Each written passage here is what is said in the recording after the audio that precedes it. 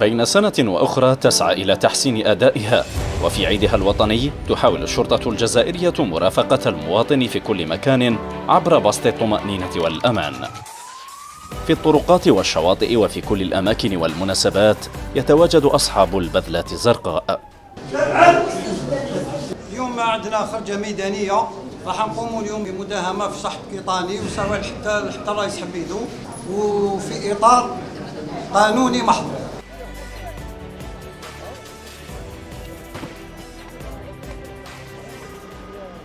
هذه الخرجات هي خرجات يومية تقوم بها مختلف مصالح العملياتية لأمن ولاية الجزائر والتي تصبو من خلالها إلى الوقوف على مختلف المخالفات والجرائم المرتكبة على مستوى يعني الشواطئ الساحات العمومية وكذا المتنزهات. المبتغى منه هو رصد مخالفين ومرتكبي الجرائم.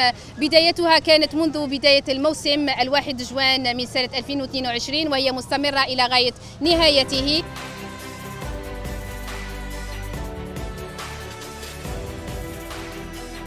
التحسيس التوعية المساعدة وتعقب المخالفين فتكون النتيجة في كل مرة القبض على مجموعات العصابات والمجرمين.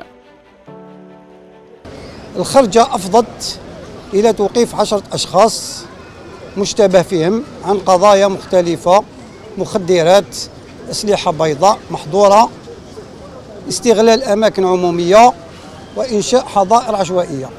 الخرجات الميدانية لعناصر الأمن تبعث الطمأنينة لدى مرتادي الشواطئ والأماكن العامة خاصة العائلات وتحد بشكل كبير من مظاهر الاستغلال كما أنها تقضي على أسباب الجريمة. الأمن في هذه في هذه الأمور هذوما يسمى راه يورغانيزي في هذه الأمور يعني يعني لا بأس الحمد لله.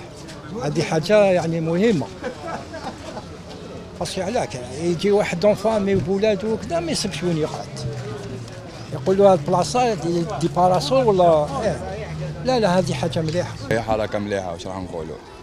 بصح شنو؟ كاين حاجة ثانية حركة مليحة لا جا الواش. هاك الايفيتيو تاع السرقة هذوك ماذا بين حنا ايفيتيو السرقة؟ ايفيتيو هذوك تاع المشاكل اللي تبلاو الناس راك تعرف محاربة المخالفات اليومية للانتهازيين المتعلقة بمؤجري الطاولات والكراسي والحظائر العشوائية وغيرها من الممارسات التي تشكل عبئا على المواطن من شأنها المساهمة في أخلاقة الحياة العامة وخلق جو من الارتياح لدى الجميع.